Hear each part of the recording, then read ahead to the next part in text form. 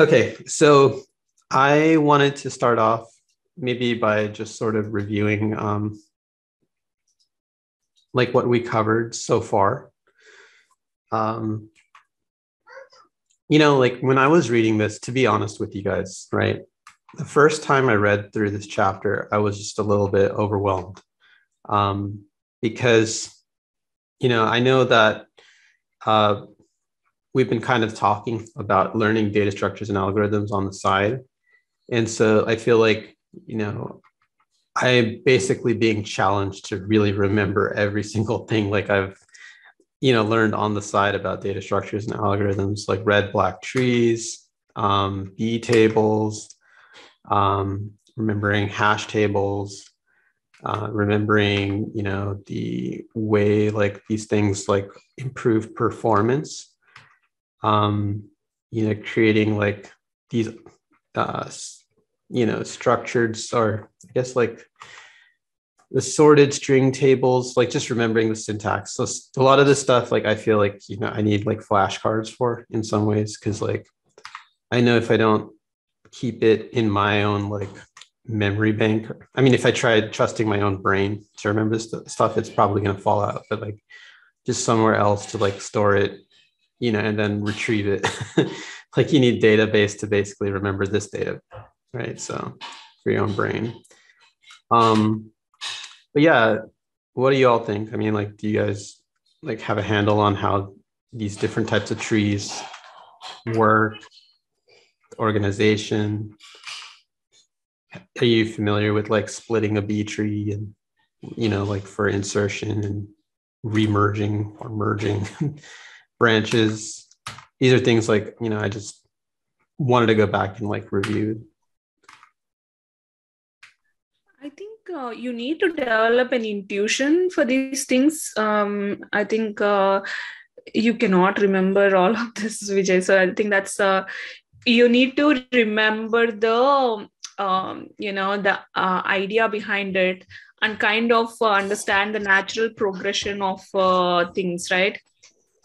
So and basically it will help uh, um, if we can understand why we came to this point if you can de- develop that intuition and have so much noise around me but uh, so uh, yeah what i mean to say is so i don't i studied b trees back in school right the only thing i remember about them is uh, that all the data is stored in the leaf nodes and uh, they have more than so in a typical tree you would have one uh, the the data is distributed throughout the uh, throughout the tree, right? Like uh, in the it's the contrast in B trees is that the data is only stored in the leaf nodes, and the other um, uh, nodes in the tree serve as pointers to uh, to that final leaf node, and you can have more than one pointer in a single node.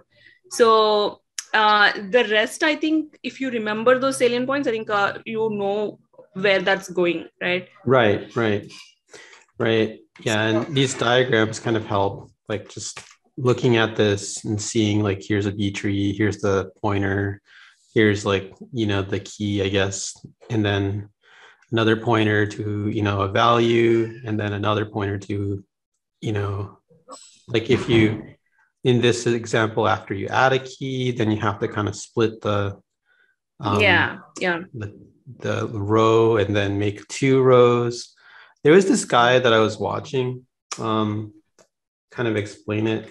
He has a lot of followers actually. And uh, let me see if he has a tree on YouTube. Yeah, this guy is really, really like like helpful for like understanding a lot of these things. Like I spent some time actually on Monday and Tuesday just watching a whole bunch of his explanations. So he did a pretty good job of explaining how B trees work and red black trees work, and then like the splitting, you know, and then the merging. Yeah, I don't think. Yeah, I mean, uh, it's good to watch those, but like you don't have to remember every single detail. It's, you just need to know that there is such a thing and uh, where mm. is that most um, uh, applicable, like the use case where where you can basically borrow the ideas like right for example the read uh, write ahead log right so although the concept is specific to uh, databases you could use it in your application design right? Like you could um, if you know what a write ahead log is there is that there is that idea where you don't actually write but you actually just write the events and note the note the incoming events somehow and then later kind of do the job of uh, um, you know bringing your database uh, um, up to basically the to sync your database later right? So the idea can be used at any level you just need to get those ideas so that's that's where that's what we should um, Definitely. Know, the, yeah i mean the idea is specific to databases here but like the idea can be applied anywhere you know even in regular life right so um, I think if you get that kind of intuition, it's um, we are good. We don't have to remember nitty gritty details. Good, good. Yeah, hundred percent agree. uh, if you um, mm, I agree to what Amulya said, uh, everything. And then if you see the same ideas being implemented in Kafka, if you will really see, Kafka can be used as a eventual store, the messaging system. Apart from the messages, you can replay it it is because it stores like write ahead logs uh, everything is in the log so you can always go and replay it from the logs the whole uh, message structure right uh, historic messages too. so uh, conceptually it's borrowed from here in some ways. Makes sense. It makes sense. Yeah. I think this chapter is very foundational in that like it kind of preps you for like you know some of the you know powerful tools out there. Like i was kind of also looking at bloom filter again and just trying to understand that as well you know. And i get that it's mainly supposed to just kind of give you like a look more kind of positive like approximation you know like oh that some data may be in a set you know um so you the point is to kind of like save like unnecessary disk reads right? And i guess like that's what all of these things are meant like the whole gradual buildup of this chapter is just to like make it like simpler to retrieve stuff faster like in memory if possible than going to the disk you know? Um like as i got later in this chapter i even started to see like you know data um like databases nowadays like are even just like in memory like um you know like because a lot of it is just simpler to work with. Um, you know, like you know, like on the disk, it might will still be in a B tree or saved in a certain way, but then just when the system starts up, it immediately creates like this in-memory data that basically all the applications can just work with and not have to go to the disk very often. So um, they're saying like that's like an advantage of like having like a modern like database. So um, any other thoughts? Like, what are you all like thinking about, like from this chapter? Definitely like to know. How about concurrency, or I guess like at a base level, isn't it about like read and writes, like and the optimizations around all that? Yeah, uh, I mean, um, I haven't gone in depth like you. Uh, you have gone trying to understand every detail because um, I don't envision myself ever to be uh, uh, going into a path of becoming a database developer.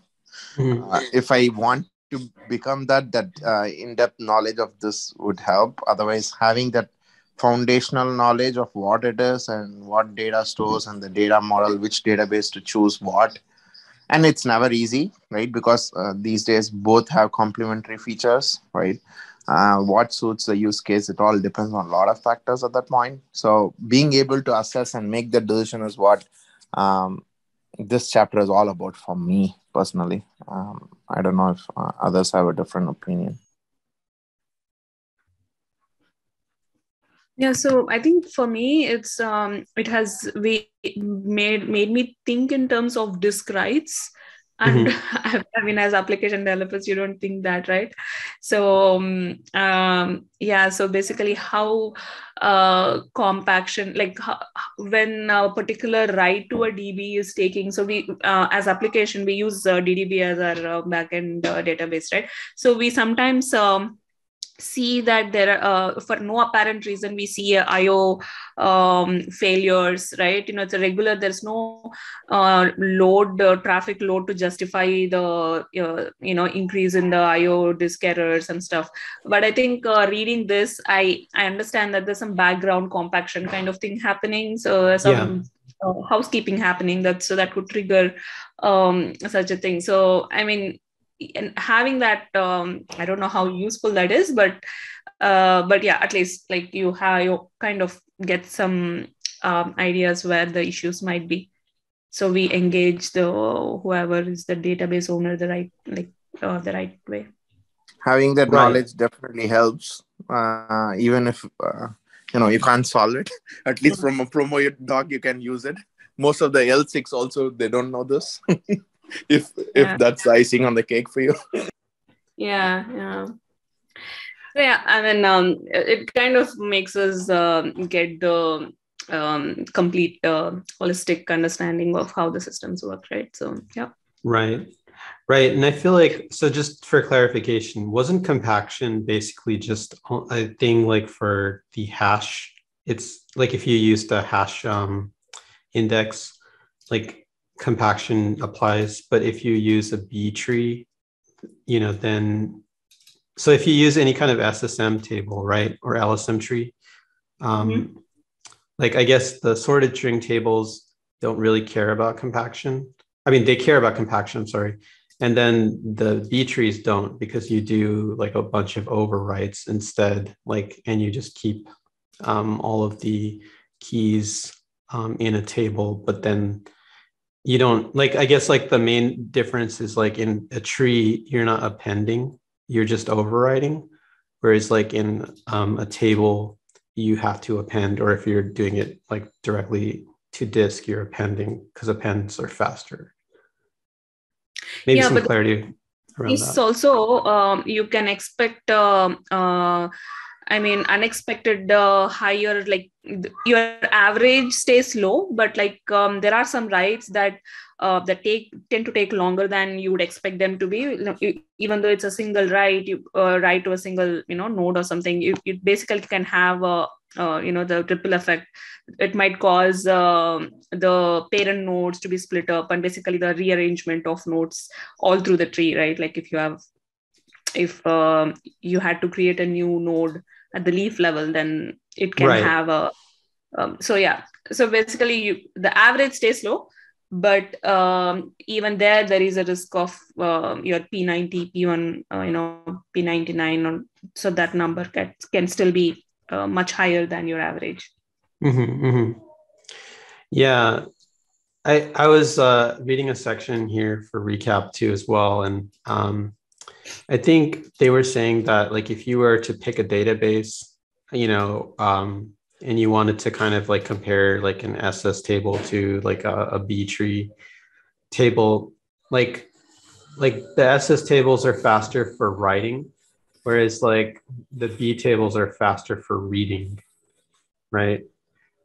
Because um or would it be the other way around? Like, let me just take a look here. No, you're right. So B tree, there's um, um so the uh the depth is only like max four on a 250 terabyte uh, um system, right? Mm-hmm. Um, but on S, uh, the um, on the LSM um, uh, data structure, you basically append, so writes are fast. There is no right. figuring out where to write.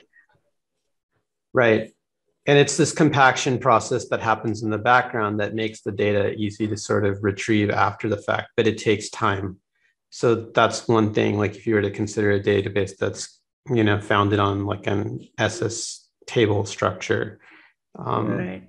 then you just have to worry about like this compaction and sorting in the background but if you were to like do some kind of app or website or something that does just a lot of reads then maybe a b tree is more the standard. Um, and I think that's what like B trees are powering SQL, right? Is that like the modern solution? That's what I think I got from this chapter as well. Mm-hmm. Okay. All right. Um, so I, I think like, is that a pretty good review of uh, everything we talked about from last time so far? Yeah i think that's a good summary but like the ideas wise what did we get from you know in terms of ideas that we can apply in our day-to-day job is like the uh, write ahead log concept and then bloom filters Mhm. um so i don't know so bloom filters sound like magic to me i have to understand like the mechanics how it works um, I agree. but it's good to know that um uh, that there is such a data structure which could just tell if a node is if a you know um, key is available without actually traversing the entire thing Right. So, like, what I got from the write ahead log part was that it was meant for helping, like, recreate the tree, right? Um, because B trees could be um, unreliable if the data fails. Um, yeah, like, there's stuff that happens, right? Like, if you were to split a page because insertion was over full, you ran out of memory, then um, that can be a dangerous operation. You know, like the database can crash.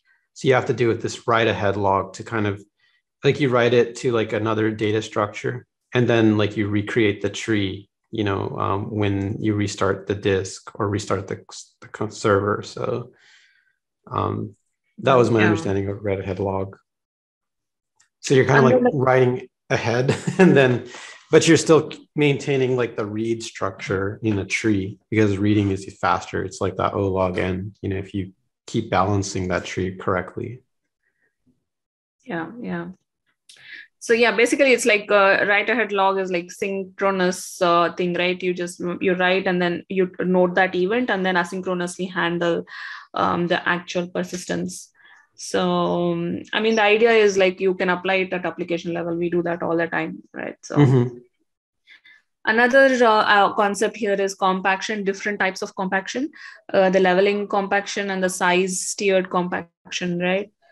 Um, so i think uh, it's not elaborated um, but yeah. So that i think in the previous page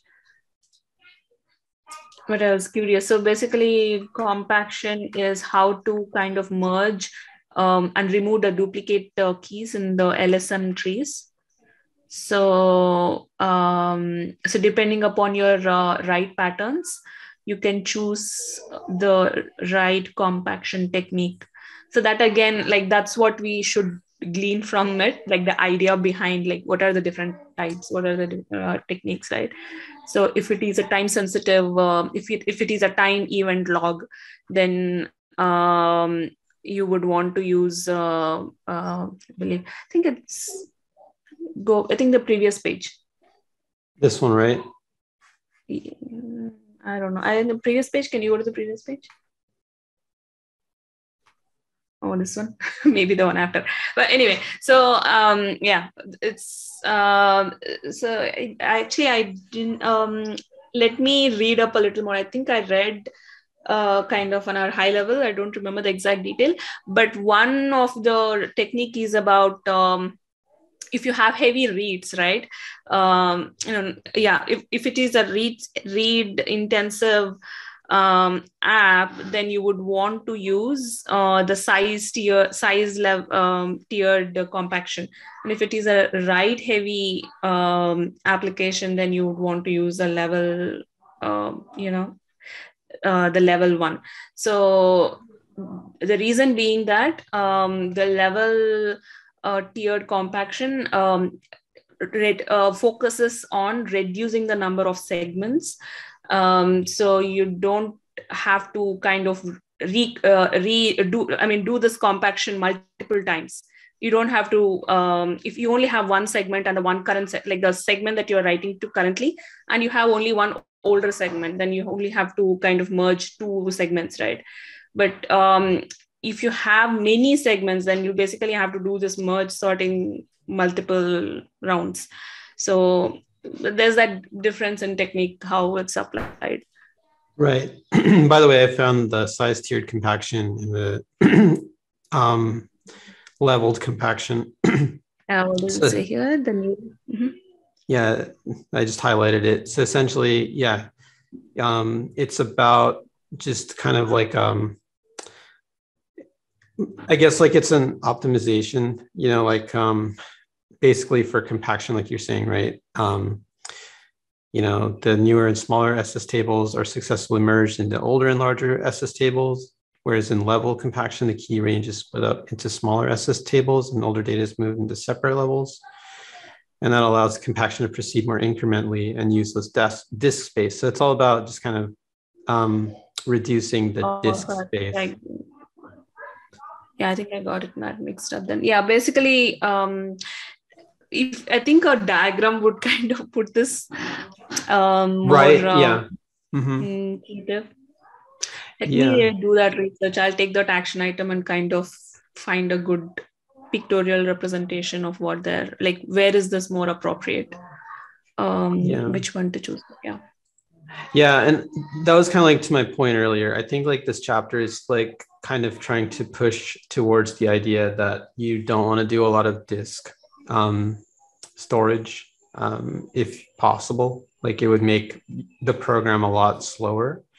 Um, so you want to like reduce as much disk space as you can with your data and keep most of it like um, in memory so that when the application starts up, you can just like hit that, you know, um, database, get the results you need pretty quickly, you know, and then, um, you know, be on your way if you have to do a lot of disk seeks, then um, it's just going to take a lot more time. I guess like that's what do you all think of that point?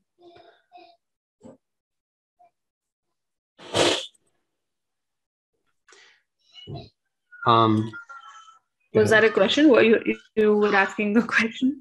What was uh, that, oh, um, oh no, I was just saying, like in summary, I feel like this chapter is like pushing towards like the idea that in memory is better like if you are going to design a database um, then yeah, yeah. like if you were to just put everything on disk like right like in the beginning when we started this chapter it was so much about like just like directly saving to a file right like here save to the file like on the system with like these simple appends but as we started getting more complicated we started creating memory structures with hash tables, then trees, and then creating like this optimized like memory structure that is just like much more efficient at reading or writing. Um, and so then like it still works with the disk and it compacts like old information into the disk, but it keeps like a whole bunch of pointers and references to those places in the disk. And so ultimately, the chapter is kind of like pushing towards this idea that an in memory application for a database, mostly in memory, is much better than like one that just directly saves to disk because it's it's going to be much more faster and optimized right? Like hence the b trees and all these techniques.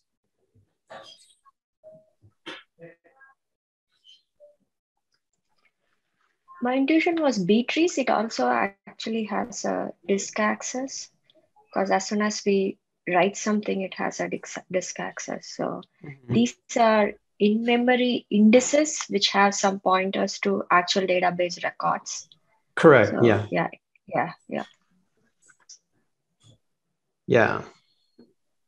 That, that's the point of like these like pages, right? Like here's yeah.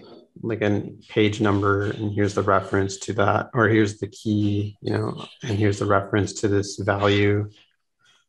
So, and then like one other thing too is like the larger this row, I guess, like, you know, obviously the more runtime, but like, I guess if it's like a very small row, then it's not too difficult for the database to kind of go in here and read through some, like, look for some range of keys. That's like another thing that I got out of this chapter. Um, that searching for ranges is possible with the B tree, whereas like with a hash table, um, you kind of have to just go key by key by key. There, you don't really get ranges. Um, and it all comes together. I guess like we can kind of go forward, right? Like so, um, if you start looking at like the SQL statements, um, so select from restaurants where latitude is greater than this range, and you know um, latitude is less than this range, and longitude so like they say that, you know, a standard B tree cannot answer that kind of question efficiently. Um, but then like you get into like um, specialized indexes that I guess like this one was saying that um, rather than to have a like basic, you know, um, two three key two three tree, right? And again, I also need to read up on this. Um, you can have like a specialized kind of um, search for creating like 2D indexes or 3D indexes. Um, but yeah, uh, I think it's all about like like the the main thing about the B trees versus the LSM trees, right? Like is that you get like this range um, ability to search for a specific thing and it maps to the SQL that you usually work with. So um, let's go ahead and jump to this part. I think we left off last time on B tree optimizations. So I'll go ahead and start here if um, if everyone's okay with that. Um, so, so B trees are basically, you know, as we've been discussing, like another optimization for um, holding data. Um, you know, and um, it says here that for optimizations, right? Like these, so B trees are pretty much like the industry standard at this point um, for for holding data. Um, like SQL is backed by a B tree, um, but for um, optimizations, right, you can do things like um, uh, use the WAL, the wall, like you were saying, for crash recovery. Um, you know, and then like some uh, databases like LMDB pretty much use like a copy on write on scheme instead of a wall. Um, and so they just instead of like um, you know overwriting, they just create a copy and then they put that like in a different location. Um, let's see here.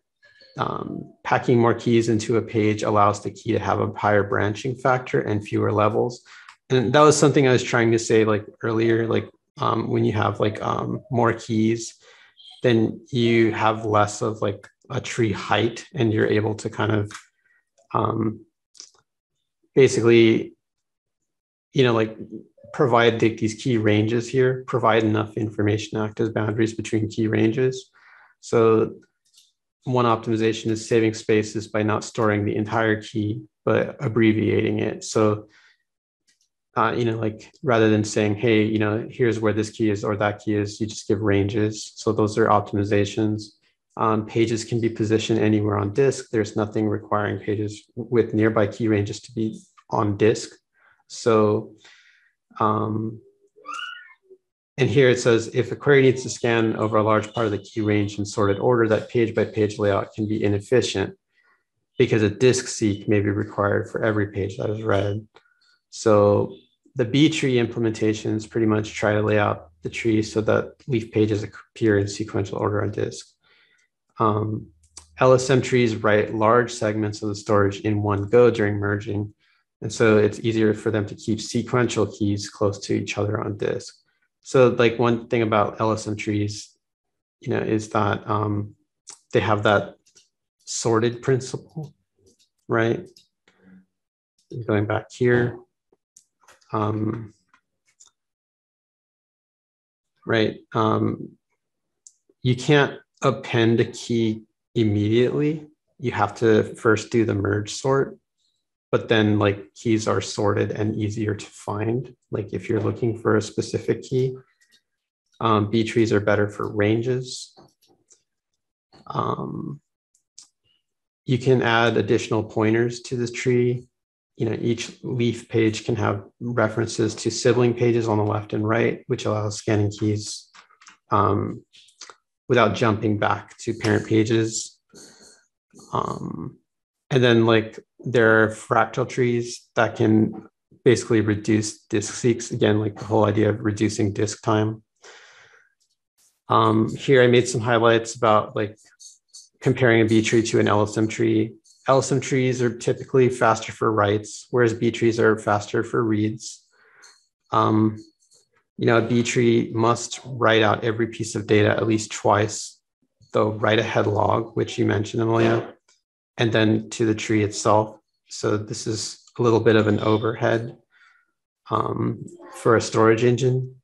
and so that might be something to consider like when you're when you're working with the database like you just have to think okay well this is what's going to be happening in the background you might be okay with that um, and one thing that i just saw here on the side right was that lsm reads lsm trees are slower because they have to check for different data structures and ss tables are you know have different stages of compaction so maybe highlight this as well um, you know, then we have over here on this side, um, multiple writes to the disk over the course of lifetime can um, kind of destroy your SSD, right? Like if you have something that's writing a lot and you're working with SSD, solid, disk, solid state disks, um, you can wear out the solid state disk through write amplification. So it's just something else to consider.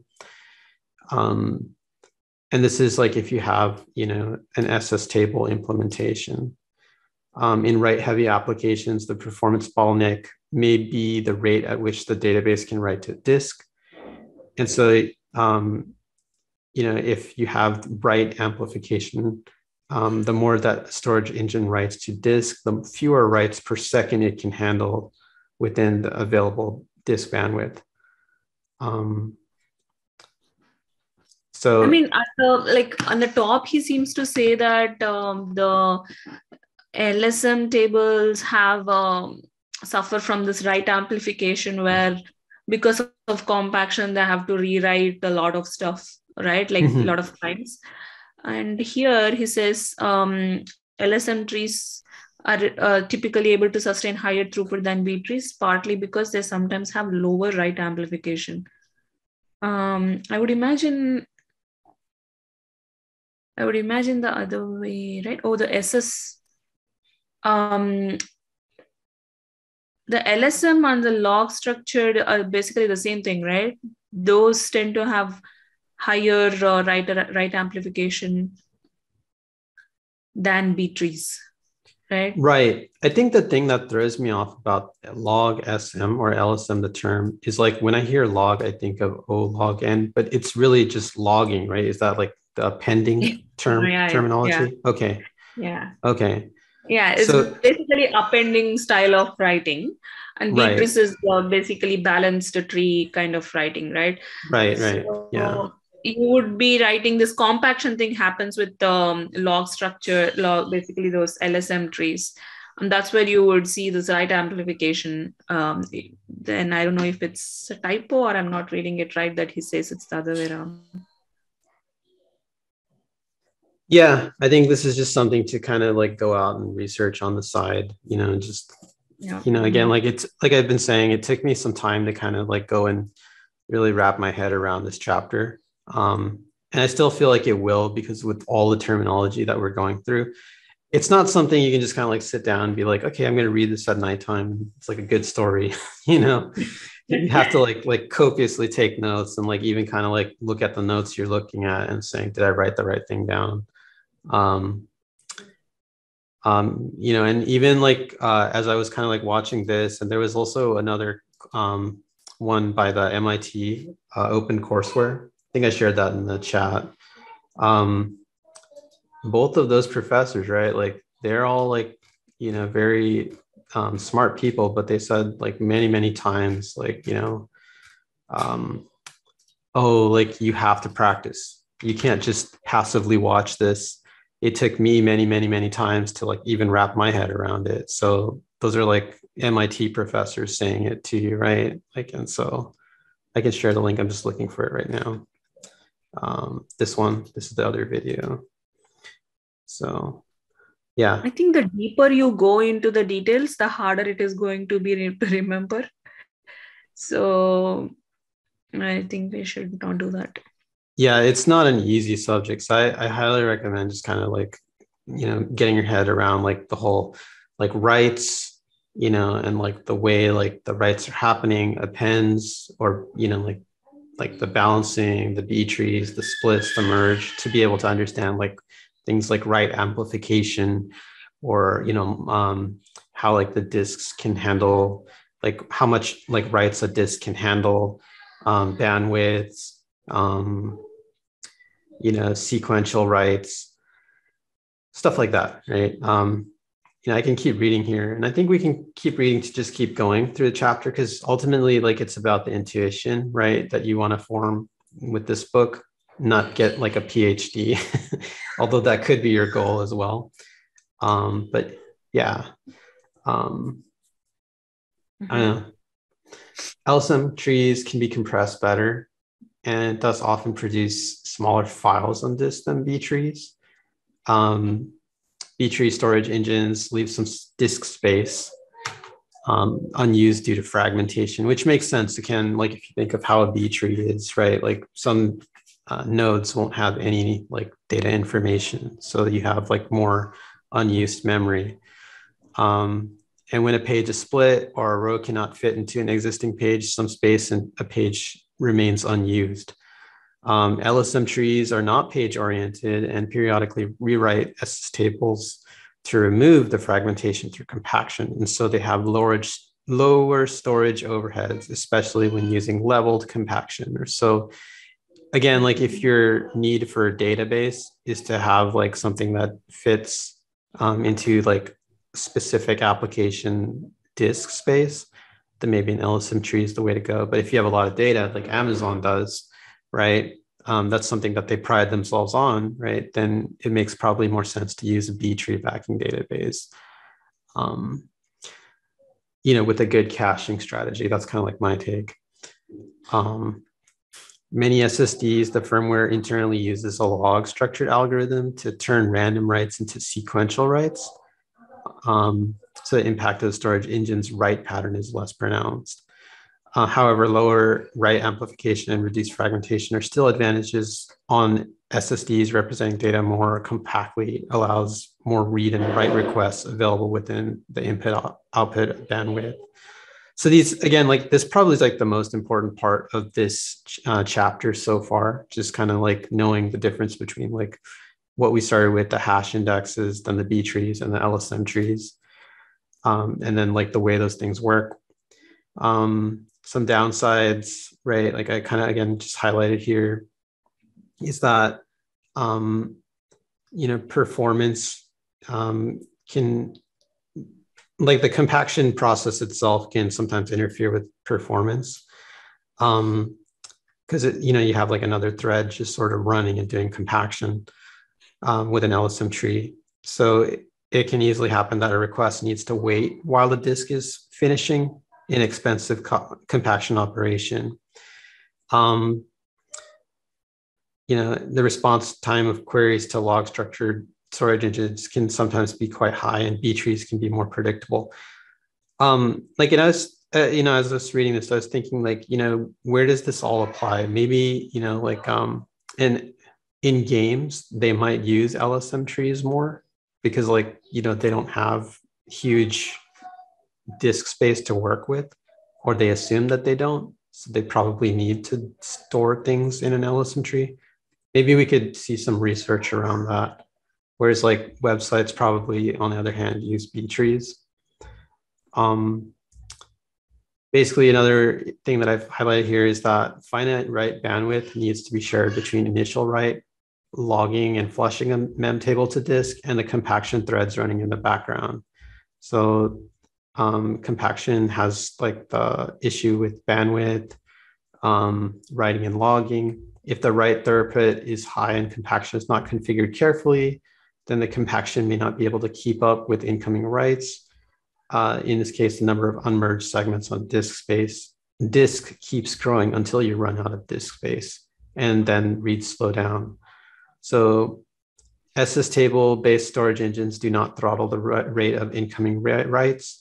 If the compaction cannot keep up, you need to explicit monitoring to detect the situation. Um, so those are sort of the downsides of LSM trees. B trees, um, each key exists exactly in the place, one place in the index, whereas a log structured storage engine may have, again, LS may have multiple copies of the same keys in different segments.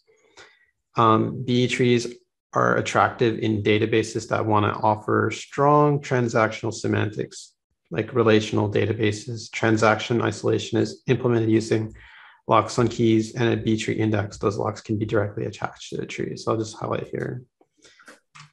Mm, yeah, I think it makes it possible to do the locks, right, with the B tree because you can kind of ensure that no other writes are happening to the same node. Right. Like you can manage concurrency better, like with a B tree than you can with an LSM tree. Um, let's see here. B trees are very ingrained in the architecture of databases and provide consistently good performance for many workloads. So it's unlikely they'll go away anytime soon. Again, industry standard. Um, log structured indexes are becoming popular, but there's no quick and easy rule. Um, then the next part of this is um, other indexing structures. So, so far we've been just talking about primary keys, but then there are also um, secondary indexes. Um, just for review, a primary key uh, identifies one row in a relation table or one document in a database. Um, secondary indexes, um, you know, kind of allow uh, you to reference multiple, um, you know, um, items in the same table. Um, so like user ID is like one kind of secondary index in an SQL database where you can find all the rows that belong to the same user in each of the tables.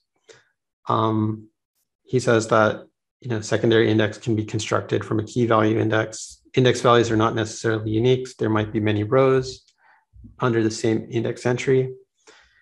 Um, and so either make each value in the index a list of matching row identifiers, like postings in a full text search, or by making each entry unique, appending a row identifier to it. Um, B trees and log structured indexes can both be used as secondary indexes.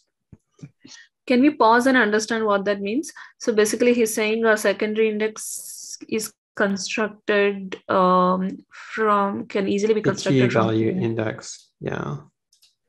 And the mm-hmm.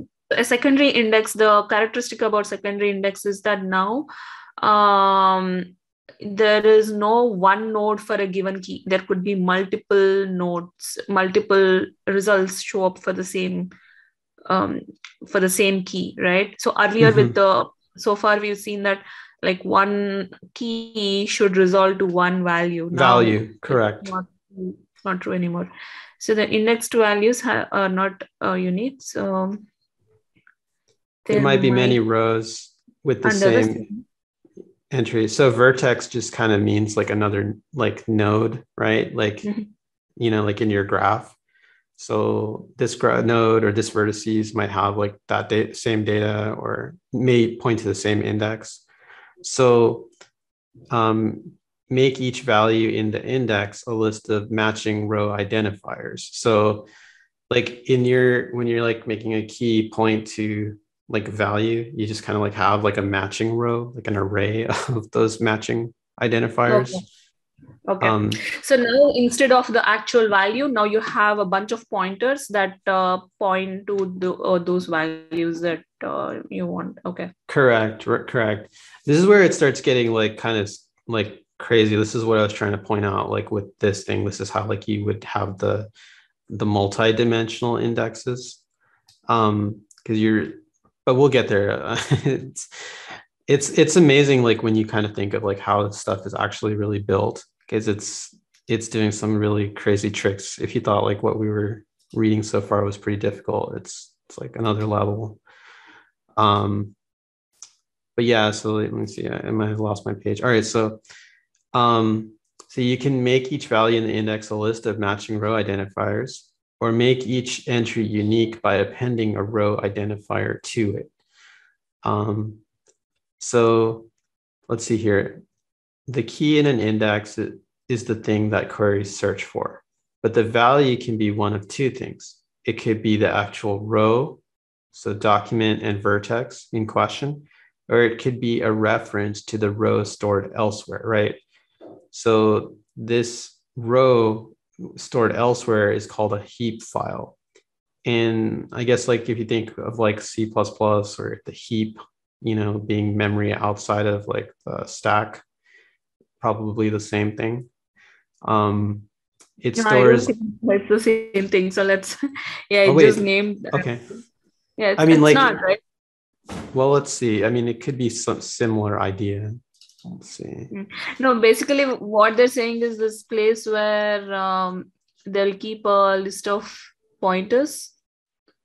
hmm Okay, in, maybe in a heap, you would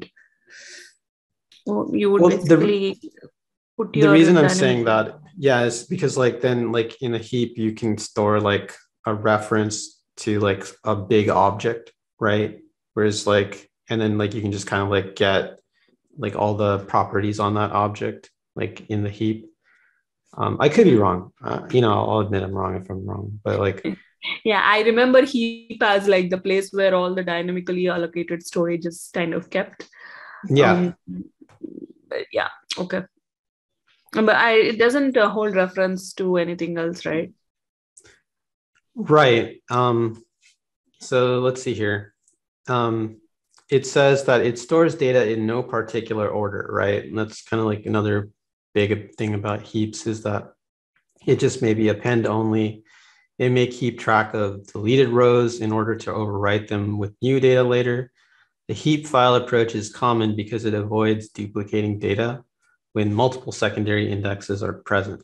Each index just refer, references a location in the heap file and actual data is not kept in one place. Right. So this is just becoming like um, like an index refers to locations. So like rather than values, it's just references. Um, when updating a value without changing the key, the heap file approach can be quite efficient. The record can be overwritten in place provided the new value is not larger than the old value, like probably in bit size. Um, the situation is more complicated if the new value is larger, as it needs to be moved to a new location in the heap where there's enough space. In that case, either all indexes need to be updated to point to that new heap location of the record, or a forwarding pointer is left behind in the old heap location. Mhm. Um, so in some situations, the extra hop from the index to the heap file is too much of a performance penalty for reads. So it can be desirable to store the index row directly within an index. This is known as a clustered index. So store the indexed row directly in the index. Um, that's what the InnoDB storage engine with MySQL is. The primary key of the table is a clustered index, and secondary indexes refer to the primary key rather than a heap file location. So the secondary index points to the primary key. The primary key contains a clustered index of references to um, places on the disk in the heap, essentially. Um, a compromise between a clustered So- index. Basically, what they're saying is uh, in the clustered index, they, they will store the pointers as well as the value in the index. Is that what they mean? It can be um, it can be desirable to store the indexed row directly within the index. So the values are stored within the index and not pointers anymore. Is that what they mean? I think possibly, yeah. Like maybe we can just kind of like go through this one more time here. Um, but essentially, That's like correct. Yeah. yeah. Otherwise, it's Uh, too yeah. much for the disk, right? Right. We're trying to reduce the amount of time we go to the disk and keep things in memory. That's kind of like but the our whole memory. idea of i mean this uh, indirection thing happened only because we were not able to fit it in the memory right if you could not fit pointers in the memory how can you put the value in the memory i mean uh, you're going to hit um, the limit faster right with the actual values being stored in the index rather than. Values are not stored even in secondary index. It's just a reference to the uh, new object being stored somewhere. Values are not stored in the index, only the reference. Pretty much like how we create an object and then have a reference, multiple references pointing to it, right? In, in Java. Mhm. But here they seem to, st- what does it mean when they say it can be desirable to store the indexed row directly within an index? Um, this is known as clustered index. There's something going on here. Um, kind of have to read up. Yeah, they either store the entire row or part of the row depending on what the some of the queries maybe you just need some particular column. So they say they either store a row, all row data, or part of the row data. Yeah, it says here, it says Yeah. a compromise between a clustered index. It stores all row data within the index, so maybe values. And a Mhm. non-clustered index is storing only references within the index. Um, Mhm. and so this is called a covering index or an index with included columns, which stores some of the table's columns within the index. So when you make a query, you can just use the index alone to be um, the source of truth. Um, so the index is set to cover the query. So it's, I guess, like maybe the the idea here is, is this is just a strategy for, um, you know, being able to answer a query. Um, and it's really meant to just kind of like pre like almost like a cache, like just kind of cover the read. Um, they require additional storage and can, you know, add overhead though. But I, I would say like go through this part, you know, if you want like to reread this section and just kind of like watch some videos or something just to get like an other take on it. Cause like for me, again, like when I read stuff, I, I need like multiple sources of people telling me the same thing for me to kind of like understand it. I can't just like read one book and kind of be like, okay, I got it. you know? yeah i think we should um, two things that we need to kind of do some uh, parallel reading is this clustered uh, read concept and the compaction Mhm. um yeah i will read up and then enlighten you guys next class for sure um i just saw that it's 8:30 here as well. Um so yeah like i said um i think this chapter is pretty big. Um you know just kind of take your time with it go through it try to really digest it. Um we're almost there though towards the end. I think we'll get to the end faster than we did with chapter two. Um it ends like after here i think. Let's see summary i think right? it's um after every chapter i think we should kind of dedicate one one session to actually writing out the notes. Um i mean I, I try to take time out and try to make the notes but it's not happening. I think if it's better if we can kind of um, write collaborate and write the notes before moving on then i think we have better um we'll have better gra- grip on stuff otherwise Okay. it's going down slippery slope would you would you like um i guess uh have you given everybody edit privileges on this is it the same link first off is it Yeah, it's Yeah. the same link, but I've not been doing anything there. So it's the Okay. same link. It has edit permissions for everyone. Um, we could just, you know, like just like screen share and kind of um, write out the notes, uh, collaborate and uh, keep the notes up to date. So. Okay. Okay. Sounds good. All right. Well so uh we'll meet up friday and i guess like before um everything uh, just kind of take your time again read through and um, ask questions as always in the whatsapp or discord. All right. Yeah, after you're supposed to talk about Bloom Bloom filters next class. So Okay, maybe we can have like a lightning talk on Bloom filters if anyone I wants read to on do Bloom that. filters, and Yeah. yeah. I'm ready to give my talk whenever you guys are ready. So. Absolutely. okay, nice. Maybe next Okay. class, first few Yeah. minutes, we can talk about them. Yeah. Oh, well. Okay, sounds good. I'll see you all Friday. Thanks. Bye. Thanks. Bye.